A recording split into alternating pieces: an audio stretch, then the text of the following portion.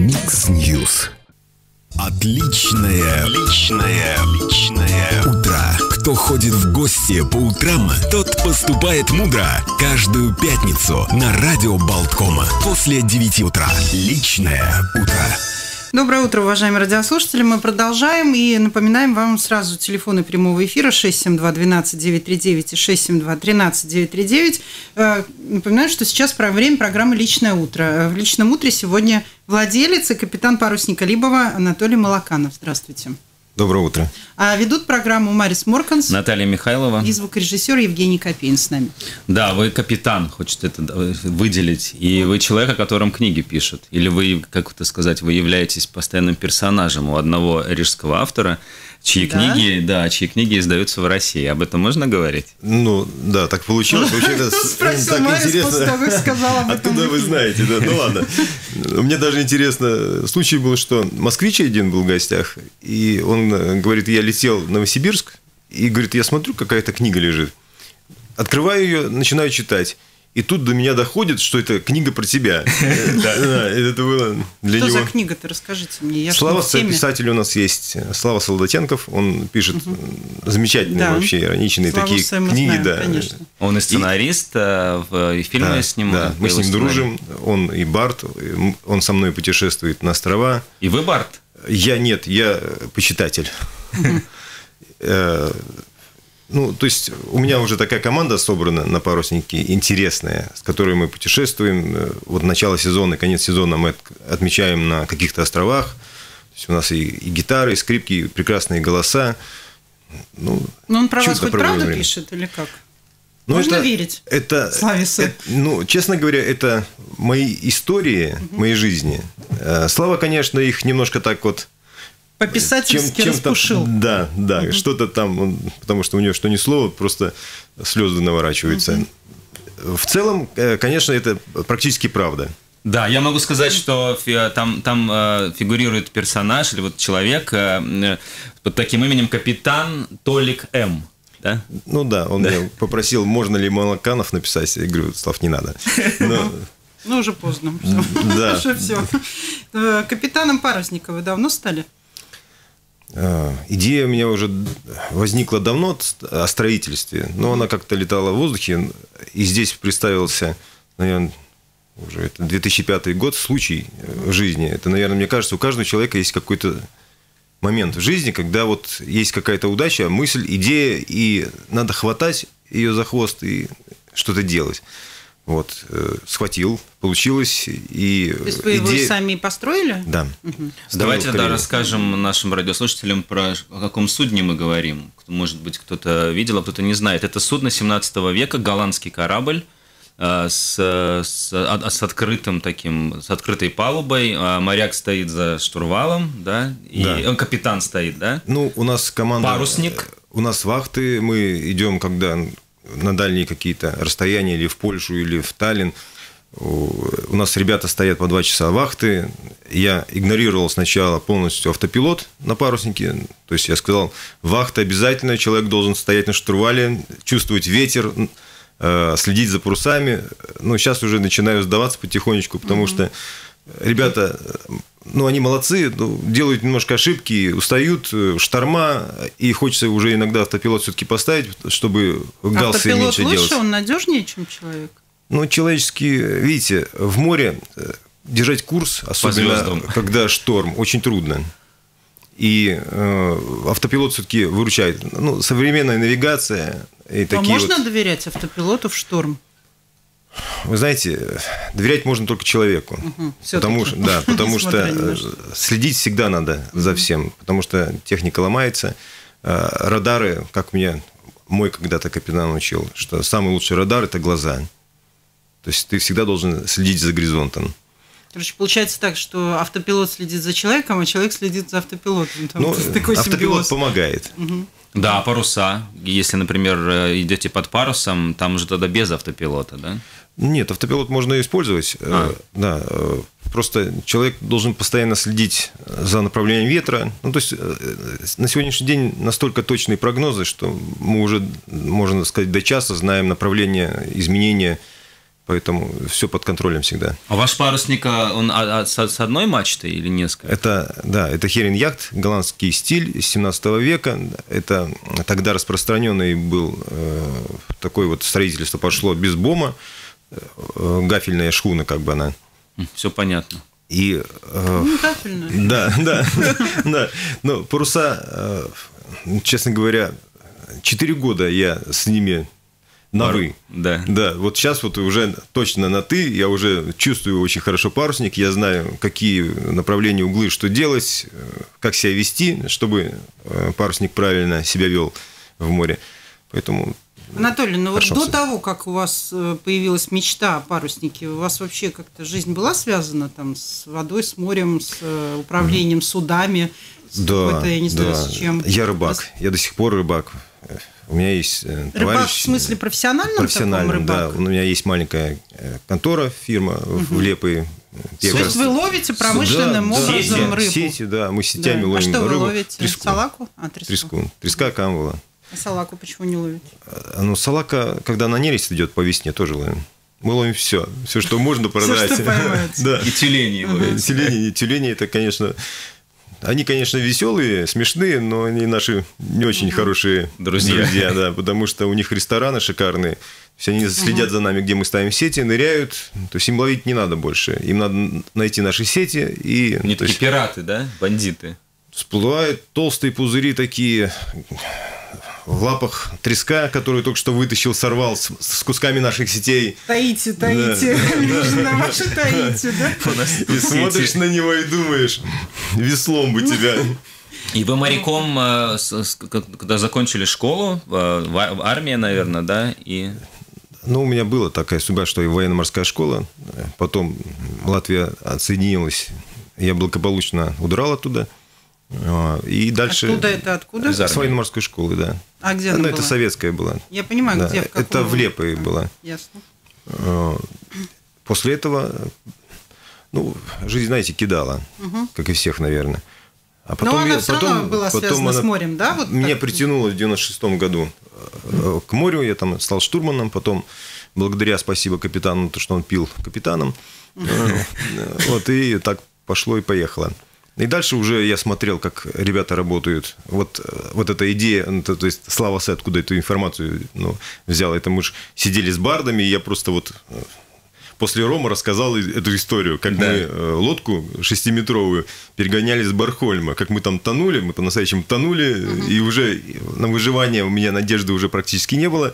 И в этот момент э, ночью появилось это судно какое-то с прожектором, которое э, у нас Майдай запрашивало. Но я знал, что они, если нас возьмут, э, то есть кредиты и все остальное, и залоги, это все рухнет.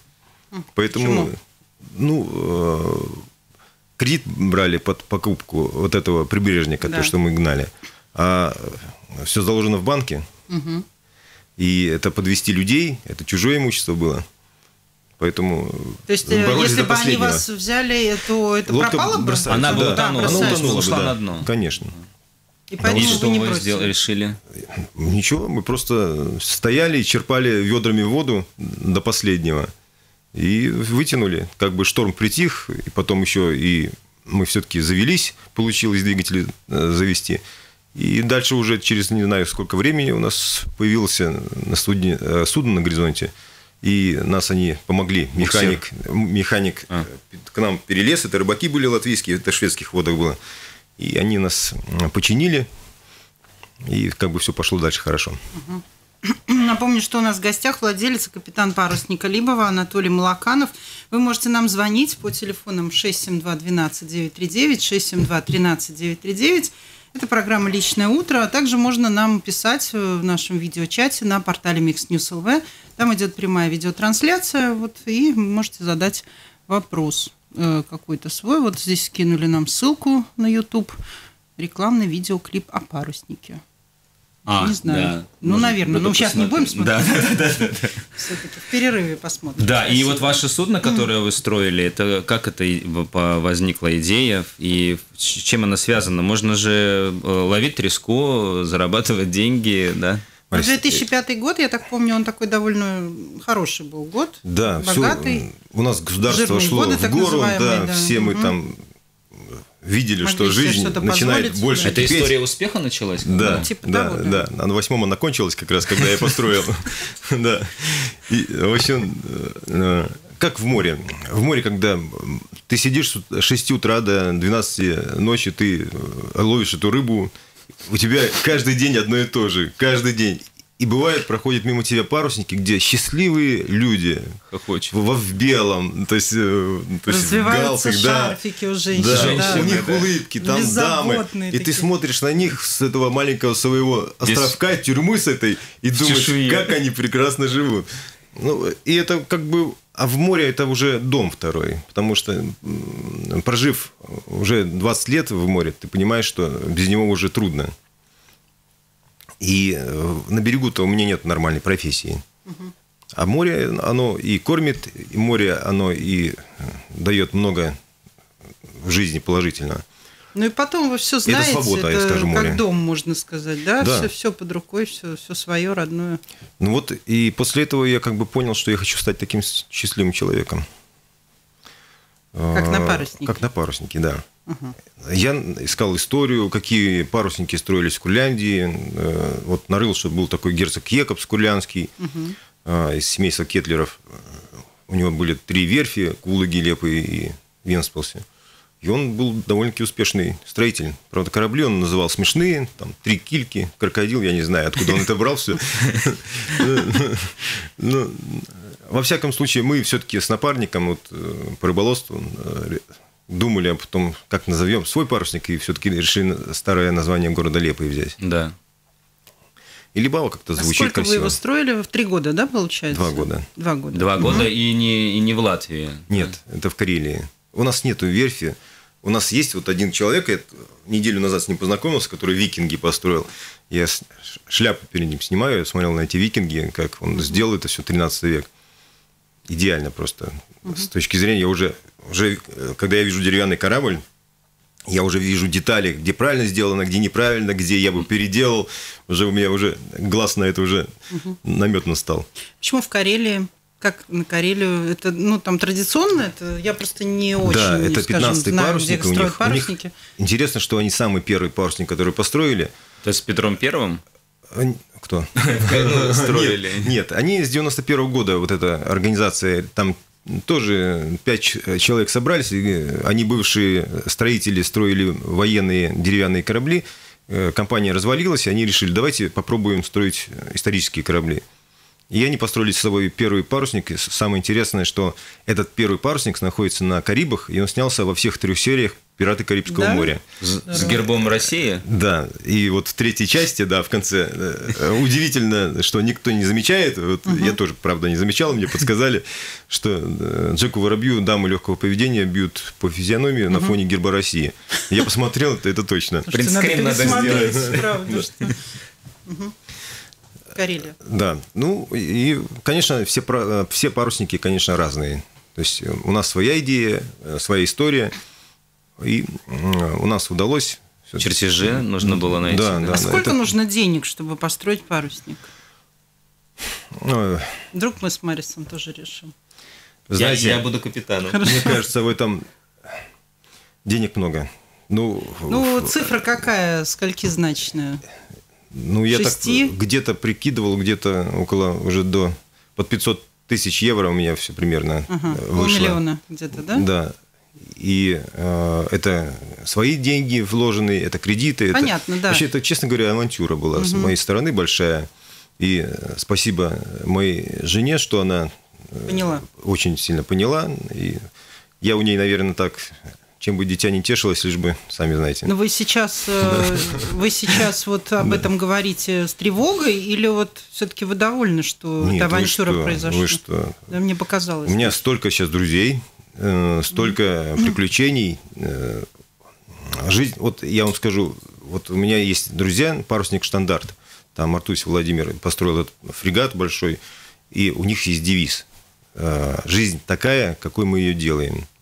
И вот этот девиз, э, вот он все для человека. Поэтому э, Это я в свое время девиз, да, да? сделал. Да, я вот тоже приду, хочу придумать все время девиз для Либавы, но уже 8 лет и я как-то мучаюсь. Идеи всякие приходят. Ну, вот этот девиз, он как бы очень шикарный. Он э, все, суть человека, который что-то хочет добиться, э, выносит. Поэтому мне очень нравится он. Надо, надо девиз... Ну, то есть вы, в принципе, э, построив парусник, вот вы стали тем человеком с парусника, вот этим беззаботным, там, в белом в белых одеяниях. 40 женщин так. на, на... Вот тем, на кого вы смотрели, да, Да, спасибо, вот... Славик. Но э, я скажу так, что трудности, они э, были очень большие. И иногда мне кажется, что я бы, наверное, эти камни были подводные столько на, по дороге, э, я думал, ну просто мы не, не дотянем и не вытянем, потому что затеять это без такого бюджета, и когда ты сталкиваешься каждый раз с, с новой проблемой, это большие проблемы были, э, потому что мы там двигатель как доставали, балласт, вообще балласт на паруснике лежит с рыболовецких кораблей, которые порезала Европа, по-моему, с 10 кораблей где-то. То есть угу. я собирал этот балласт, чугунные чушки такие, и вот складывал их там. Судно режется, к ребятам подошел, там, угу.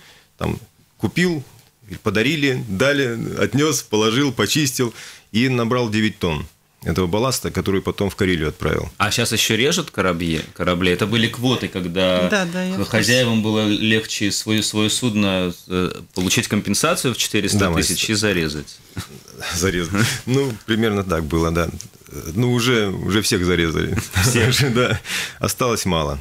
Единицы и ну, там тоже, Марш, знаешь, э, когда человеку уже где-то 60 лет, у него два корабля, э, вести это хозяйство – это очень трудное мероприятие. И получить там за два корабля 800 тысяч и уехать куда-нибудь счастливую на какой-то остров, э, ну, многие так и сделали.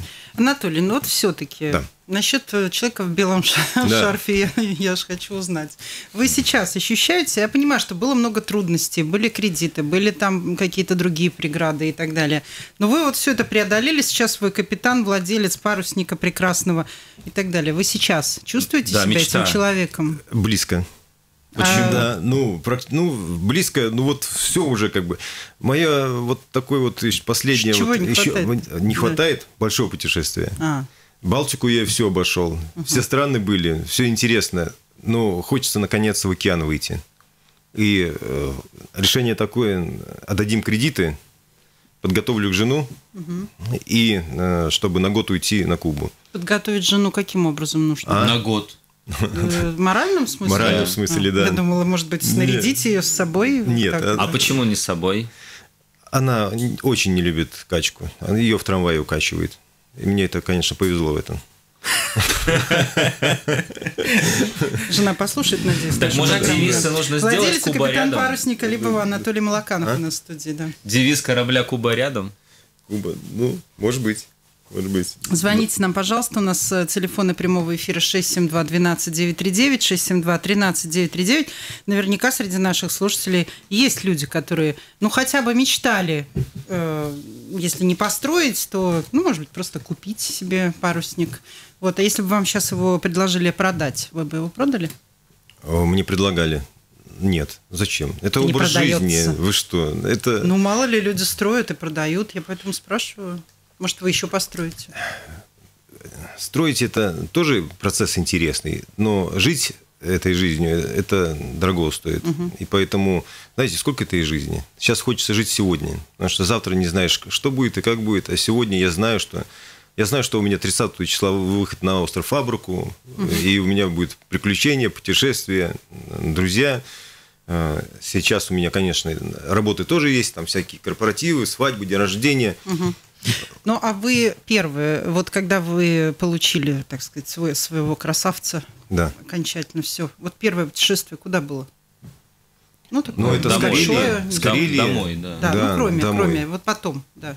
Потом Польша, э, Гданьск. Это где реконструкция, Это вы для себя да? путешествовали или вы сразу стали этим зарабатывать и такой коммерческий? Ну, парусник содержать или... надо, да. понимаете? Нам... А для себя получилось попутешествовать? Наверное? Ну, это, это всегда все объединяет. Угу. Потому что ты путешествуешь, конечно, это новые люди, тебе какие-то надо выполнять условия, но в целом все равно ты э, знакомишься с людьми, путешествуешь, машешь рыбакам, ха-ха, Рыбаки сидят и думают, как я хочу быть таким беззаботным человеком, который машет мне с яхты, с парусом. Вот. Это вот и есть то, что я хотел в своей жизни, потому что я совместил эту работу с хобби, э, с тем, что мне очень нравится. Потому что паруса по-настоящему, вот, я просто советую любому человеку вот, просто даже нанять какую-то яхту, к нам прийти в гости. Вот, у нас прогулки, ну, уже Под в этом году мы да. закрылись, да, уже закрываемся, на следующий год у нас по билетам будут прогулки. И выйти в море, это же это так- такое вот, какое-то море чистит, я скажу честно. Духовно чистит. И мне это вот больше всего нравится. Потому что вот как-то я вот всегда, когда выхожу в море, все эти проблемы э, земные, они как-то все остается на берегу. Чистота какая-то получается. Ну, и простор. разные и- есть любители, знаете ли. Надо, ну, Некоторых море чистят в буквальном смысле. вот, да, ну, может быть. Ну, э, Кто качку Во- не во- переносит, я имею в виду. Нет, я за этим очень сильно слежу, поэтому, э, то есть, если в заливе у нас есть какая-то волна, я стараюсь э, прогулку совершить э, больше по Алейлупа, э, чтобы не укачало. Ну, то есть так, я понимаю, что люди что да. разные, э, и надо всегда э, смотреть. А вы уже ситуацию. продумывали путешествие свое вот такое? Или это у вас сразу кругосветка, и тогда как? Через, через что? Через э, какие Вот про порты? Кубу, да, да, это- Ну, я- имеется в виду ваша большая мечта, вот эта, которую вы хотите осуществить, допустим. Ну, Куда вы Понимаете, пойдете? вот э, жизнь, она интересна тем, что когда ты э, мечтаешь, ты строишь какой-то план в жизни. У меня был план построить парусник, я его осуществил. У меня был план путешествовать, жить этой жизнью. Я живу на паруснике сейчас, э, и это все Полгода, есть. да. Да, полгода. А, Сейчас появляется мечта вот сходить в такое путешествие по местам герцога Якоба, это на Табаго, ну, вот, Куба, и сделать где-то вот год такого похода. И вот ради этого начинаешь дальше уже, то есть тебя уже начинает тергать, ты уже начинаешь э, постоянно об этом думать, мечтать, э, решать, как это сделать. И э, этим жизнь становится насыщенней, красочней, интересней. Поэтому я уже стремлюсь к этому теперь. А команда ваша, вот есть те люди, которые сейчас собираются, вы уже так мысленно на Кубе, а это тоже моряки или это, или это те, которые вот очаровались э, вами, э, вашим судном? Ну, это такие же авантюристы. Это и э, владельцы фирм, это просто простые люди, врачи, художники. У меня есть и художник в команде, есть ребята, которые... У нас э, даже вот в команде кто-то по электричеству занимается, кто-то вот по дереву мастер занимается. Э, Один я там дурака валяю, можно сказать, на сегодняшний день. А, И мы сообща все поддерживаем наш парусник, и на нем путешествуем. И, конечно же, мы все мечтаем ну, отправиться. Но у нас будет такая возможность, что мы на какие-то этапы хотим брать гостей. То есть это можно взять, э, купить э, такой билетик. И До Англии потом. С точки А до точки Б. Ну, Голландия, там, Франция, там, Португалия. Много кто впереди еще. Mix News. Да, вот э, я знаю, что это судно, а, как, как бы оно ни выглядело таким мощным, крепким, э, э, он из дерева, там, тарам-пам-пам, но у него есть срок годности, и, по-моему, 30 лет, да? Ну, все зависит от содержания. Дерево, вот я сейчас начинаю по, по дереву очень много понимать, что дерево это как губка. Его надо постоянно насыщать, насыщать маслами, грунтами, то есть э, его надо делать все, чтобы до него не добралась вода. Вот. И Причем на то, есть- что оно в воде всё время. круглые Да. сутки. да. ну, в доки поднимаем, зачищаем, э, грунтуем, красим. э, Потом, если проверяем постоянно содержание, ну, то есть в каком состоянии дерево находится, и если мы видим какие-то проблемы, просто можно поменять и все. Доску всегда можно поменять. Это не проблема. Кон- Конечно, ну, для этого нужен человек профессиональный, и мы уже таких людей находим, э, кто это может делать. У нас и наш член команды Рамис Калныч, он молодец, он так уже знает, что с деревом, да, как, во всем, да? как с деревом на «ты» обращаться. Поэтому это не проблема по-настоящему.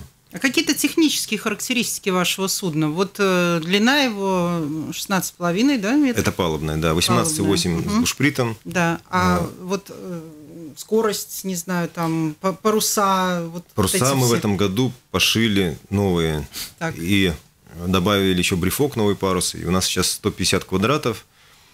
А, И под двигателем у нас скорость 6,5 узла. А под парусами у нас ш- 8,5 на бакштаке. А сильно отличается, когда тяга от парусов и, и, и от винта? А, Ну, под парусами чуть менее э, подс- послушный он.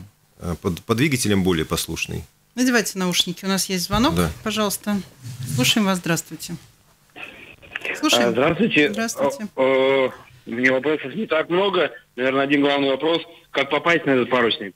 Я был в Лепе, как бы стоял около этого судна. Вот не знал просто, как туда попасть, а в целом он производит такое, ну, гигантское, трепетное Вы его видели, да? ощущение. То есть, да, то есть я был в Лепе, подошел к этому паруснику, глазам своим не поверил, что в Латвии такое возможно.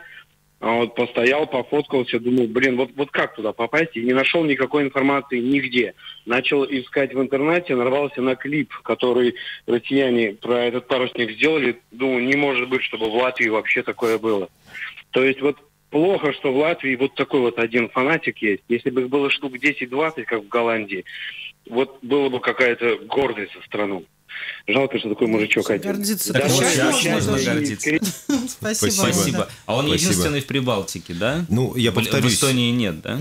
Ну, я вошел в исторический клуб Эстонии, потому что э, у них 15 парусников есть, и когда они нас увидели, э, они сказали, только, ну, что ты один, давай как нам, в нашу команду, и они помогают, ну, то есть не только словами, а делами. Э, И мы часто ходим сейчас в Таллин на реконструкции на Дни моря. Вот. Ну и спасибо, конечно, человеку. Э, Очень приятно, когда оценивают все-таки труд понимают, э, как это было и что это есть. А, И нас можно найти в Юрмле. Мы стоим э, по адресу Викингу 82. А, И мы будем, ну в этом году, извините, уже мы э, будем уходить сейчас в Лепую.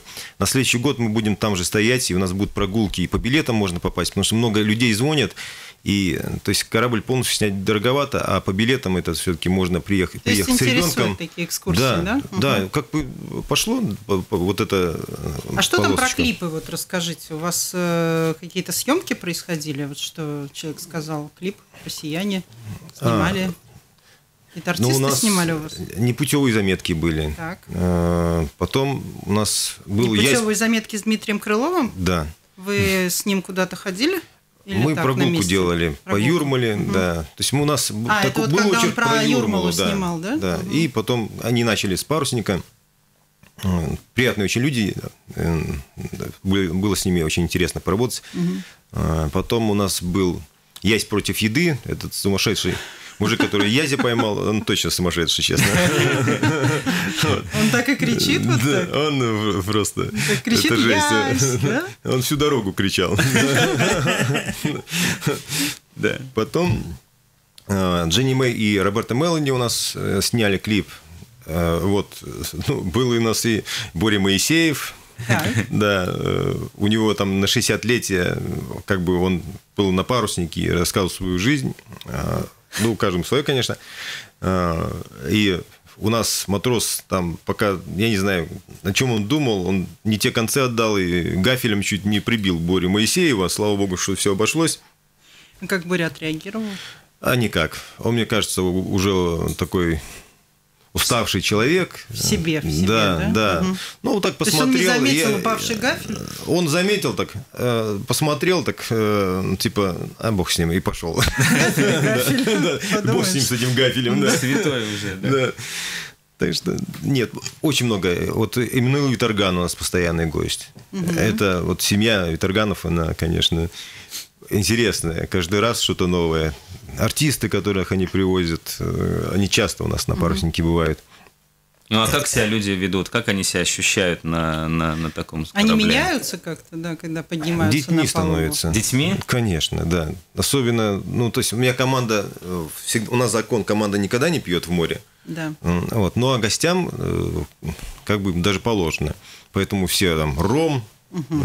Песни у нас, да, подборка хорошей музыки, у меня есть романтика есть. Мы выходим в море, поднимаем паруса люди наслаждаются, они, то есть поют песни. А команда у вас э, в какой-то форме э, исторической или? Ну, у нас три голки есть, у нас ага, есть всегда есть, форма да? историческая. Мы одеваем в основном, если у нас дети. Но дети это отдельная тема, потому что когда я вижу э, класс, например, ко мне бежит там человек 30, Угу.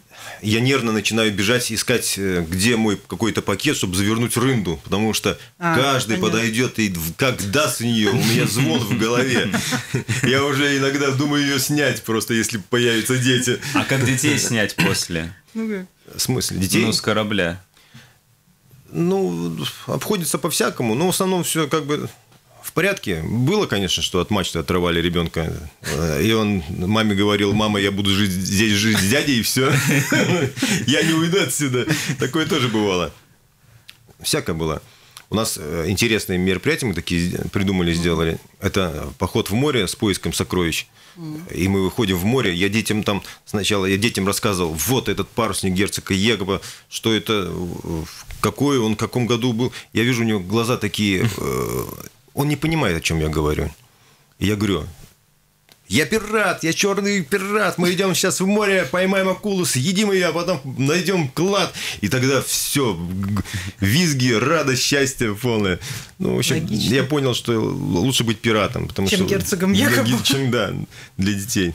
И у нас поиски сокровищ, мы находим бутылку с картой в море, там стреляем угу. из пушки. И когда мы идем в Лейлупы, у нас там есть необитаемый остров, я вечером закапываю там сундук. Угу. Ну, в основном это Накануне. такие... Да. А, и дети с аниматором отправляются на поиски Ух этого ты. сокровища, да, с компасом, там ищут, где флинта повесили, там целая карта у нас там. Они должны сами разобраться, где это. Потом шаги. Последний раз, конечно, у меня аниматор лопахнулся хорошенько. Э, от места, где Флинта повесили, он отсчитал 10 шагов, ну, видно, неправильные, и всю До утра копали. Перекопали остров, да. И э, выходят дети, я остался на паруснике, и говорят, там капитана требуют. Я думаю, что случилось? Я бегом туда на остров, прибегаю. А, ну, я на 50 сантиметров этот сундук закопал. Я прибегаю, я вижу этих детей, таких скучающих на бурствере, угу. и вижу из-под земли земля летит. То есть я понимаю, что он, наверное, решил дорыться до центра земли. Я говорю, куда ты? Говорит, я не знаю, где клад. Я говорю, я там цветочек даже положил на этом месте. Буквально метр не дошел. Ну, всякое бывает. Ну, дети, конечно, для них это если бы мне такое кто-то в детстве моем устроил такой праздник. Дети, знаете, это... разные бывают. Никто не спросил, почему Флинта на Лелупа повесили. Ни у кого Ой, вопроса не возникло. Всякие, всякие вопросы задают. Бывает, э, просто в ступор ставят и уже не знаю, что отвечать. Что придумывать? Да. У нас в гостях капитан и владелец парусника Либова Анатолий Малаканов. Если есть вопросы, звоните 672-12-939, 672-13-939. А история с кронпринцессой шведской Викторией, которая приезжала к нам, она тоже собиралась к вам? Было такое, да. А, готовились. Юрмальская дума там... А с чьей стороны инициатива возникла? Юрмальская дума. Угу. Юрмальская дума э, причала там все подъезды, все там, траву покрасила, все сделала, там все, все было просто идеально. Птички пели в нужном ритме. Э, я был это самое в одежде, в форме, новый трап сделали. Общем, я подготовился на все сто. И стихия подвела нас. А, из-за погоды? Да, ветер усилился до 15 метров, и я уже понял, что я даже mm. сам буду отказываться. Ну, то есть я не хочу негативный. Ну, что, э, Принцессы не валяются, да? Не, не хотелось бы, чтобы человеку что-то вот осталось э, нехорошее. Это осадок, да. Да, осадок а какой-то. Как хотелось, чтобы впечатление, потому что мы в первую очередь это продаем эмоции. То есть человек, когда уходит, я вижу люди, когда счастливые уходят, там, когда у них вот душа раскрыта, они там благодарят, что это было прекрасные 2-3 часа. Это э, главное для нас. А, А- когда это, в каком-то году было? А, нет, она была несколько... ну, Три и- года назад, по-моему. Ну, Ага. может, в прошлом. На да. звонок есть, да. позапрошлый. Еще надевайте, Надевайте наушники, наушники. пожалуйста. Слушаем вас. Здравствуйте. Добрый день. Добрый Э, день. Своим интересным рассказом вы э, всколыхнули мои ностальгические детские воспоминания, поскольку в этом поселке я провел свое детство, первые 10 лет. Прекрасно его знаю. Аномальный это участок, там много кинофильмов снимали, так сказать, известные режиссеры, даже в некоторых мне самому как ребенком удалось. Вот. Э, Меня интересует такой вопрос, поскольку я знаю там до каждого квадратного метра все. Что с устьем, так сказать? Там вообще оно зарастало, заносилось, его чистили, там воровали деньги, так сказать, Юрмальская дума. Э, Сейчас какие-то планы. Вот не нарушат ли ваши планы то, что все это там как бы будет мель? Мгм. А, Спасибо. Могу ответить, да. все в порядке. А, уже, по-моему, уже 4 года, как э, выделены деньги, и каждый май, нет, точнее, каждый апрель э, Перед, приходит э, техника, да, и э, углубляет фарватер. Потом его каждый год заносит, каждый год. То есть его каждый год надо угл- углублять. И э, раньше не было даже ни фарватера, ни буев фарватерных. На сегодняшний день э, Юрмальская дума и поставила и буи, и углубляет, и плюс уже даже для гостей, у нас же не было никогда места для гостей, куда в Юрмалу можно было прийти на яхте, ну, посторонним людям. Ну, в смысле, там, там шведам, Да, эстонцам, литовцам нашим Да. друзьям. На сегодняшний день они молодцы, они делают яхт-клуб новый для гостей, э, где, конечно, коммуникации все есть, и э, душевые, и стиральные машины, и э, баня там даже, Со то есть электричество, вода, все есть для того, чтобы человек мог, мог прийти на яхте, яхту поставить и И в отправиться. Риге делают, да? В Риге есть. На Кипселе сейчас же на Кипселе построили, есть, да. да. Э, Ну вот и в Юрмале появился наконец-то. Так что А вы попадали со своим этим парусником в э, серьезные ситуации в море? Да, э, и не раз, конечно. Самое такое было запоминающееся, конечно, когда у меня даже парус взорвался. Было 22 метра, порывы там больше, по-моему, даже было. И кливер убрать не мог, и у меня крен был настолько большой, да, что пушка одна, 130 килограмм, улетела за борт.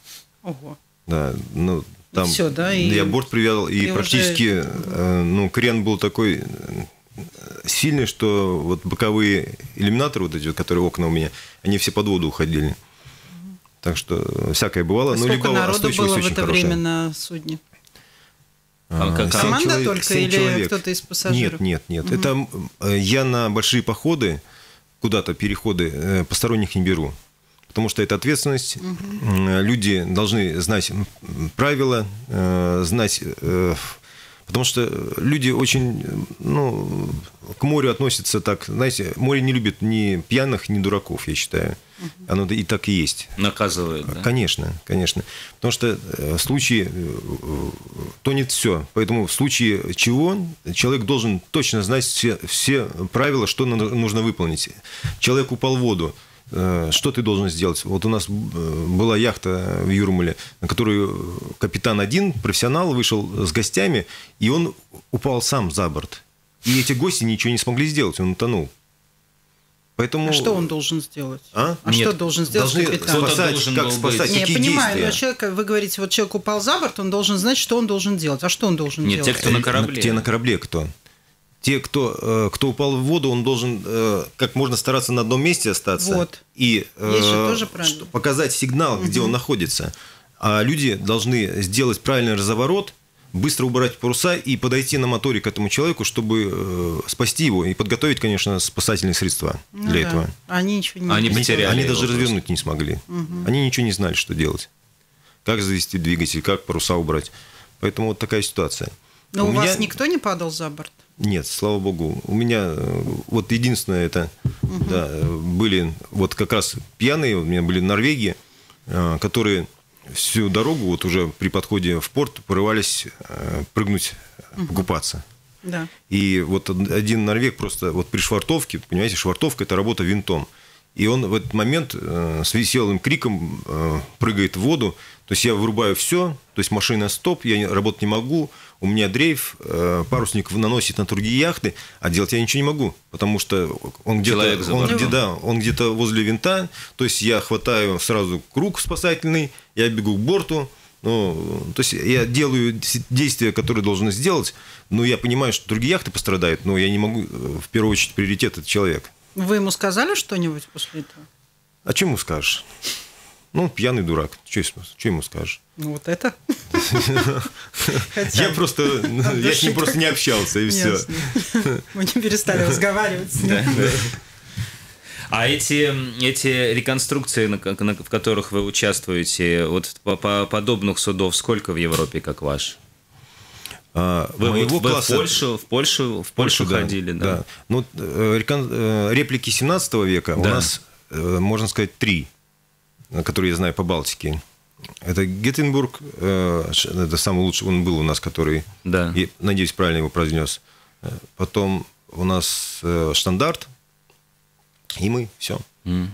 А история вашей дружбы с, с, с капитаном или с командой Крузенштерна, это вы с ними, с ними дружите, или вы как, как, мат, как матрос с ними участвовали в пути? Э, мы дружим. Путешествие, хотел сказать. Мы подружились с, с Михаилом Новиковым, с капитаном. А, Это ага. в Гданьске было. И потом мы встретились в Сталине. Э, он к нам приходил, он к себе приглашал. Я ездил в Калининград к нему в гости и на, на парус, на, на, э, на Крузенштерне ночевал. И э, наша команда, мы вот все, Ваша, да. Да, решила сделать такой сюрприз для Крузенштерна. А, мы отливаем для Крузенштерна такие накладки на книхты из бронзы. У нас Рамис Калныч, наш э, член команды, придумал дизайн. Мы показали это все Новикову, отлили. Ему очень идея понравилась, и они установят на Крузенштерне вот эти вот накладки из бронзы. Это будет э, наш такой вклад, потому что мы все-таки любим и уважаем Крузенштерн. Это для нас самый такой Легенда. могучий, да, ему 90 лет, кстати, в этом году исполнилось. Да. Он э, в 26-м году построен. Поэтому, э, ну, когда видишь э, паруса Крузенштерна на горизонте, это восхищает. Ну что, нам пора заканчивать. Спасибо большое. У нас в гостях был сегодня владелец, капитан парусника Либова Анатолий Малаканов. Спасибо хорошего всем, дня хорошего дня. Берегите всего себя и своих близких.